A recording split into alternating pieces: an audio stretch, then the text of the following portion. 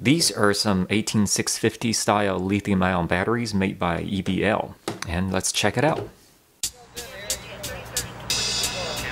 As we can see, these batteries come in a pair and stored in this plastic clear case. Also, each case has this EBL sealed label. As we open the case, we can see two 18650 cells rated at 3000 milliamps. Let's have a closer look at the battery. So we can see the branding EBL, and under that we have the 18650 3000 milliamp 3.7 volt lithium ion writing on it. And if we turn the battery around a little bit, we can actually even see a manufacturer date stamped on the battery. This one says 2021-0103, which I'm assuming is manufactured on 2021 January 3rd. These particular 18650 cells have button top design, which is different from a lot of a flat top design. With the button top design, it's very safe, and you can see the insulation and the wrapping all the way around the battery makes these type actually very safe to use. Unlike some of the flat top design, like for example this one, if the insulation is broken on the top due to wear and tear, and somehow you're carrying the cell in your pocket, your keys or any metal objects in your pockets can touch the top, and if they touch anywhere around the edges, it's gonna short the battery and cause a fire in your pockets, which is not what you want. Now again with these EBL style 18650, it is perfectly safe to use in all your 18650 devices. While we're at it, we might as well check the battery voltage of these new 18650s. We'll put the multimeter scale on 20 at DC, and let me take a measure of each batteries. And let's see these new batteries right out of the box without charge, and what's the voltage reading looks like.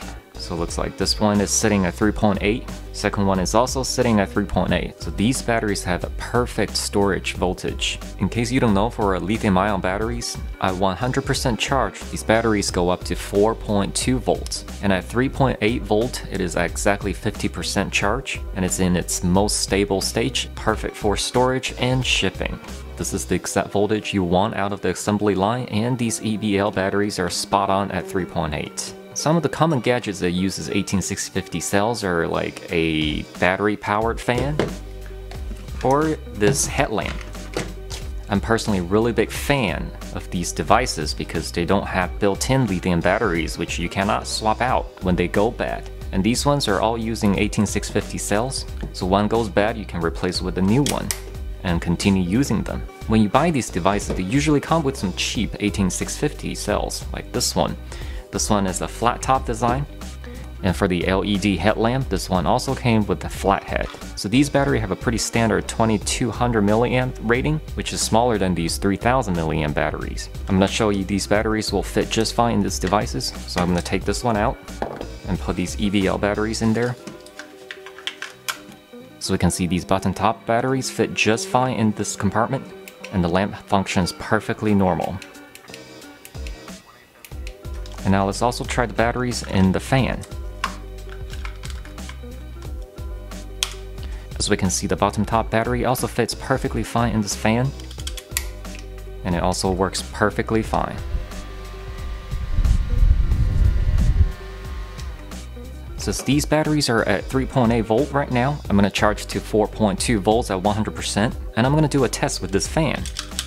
Using the stock battery which is rated at 2600 milliamp, this fan should run on the highest speed for 3 hours. And let's see how many hours we can squeeze out of the EBL battery. So I'll go ahead and charge the battery and start the test. I'll see you guys in a little bit.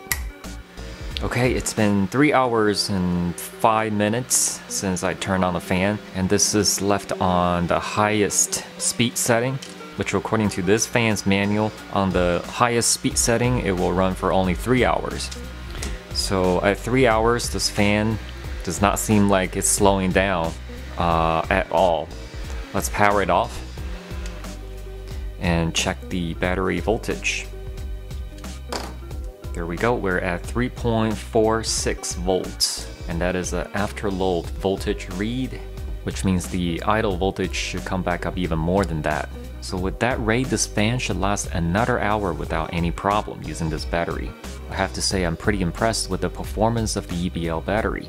As we can see, the result is pretty clear. These EBL batteries do have a true 3000 milliamp rating, which is much better than these stock junk ones. And if you kind of look closer here, there's not even a capacity milliamp readings stamped on here. So if you need some replacement 18650 cells for your headlamps or portable fans or even some RC cars, definitely check out the EBL link down below. I'll also have some 15% discount code listed down below, which you should definitely use if you want to buy some of these.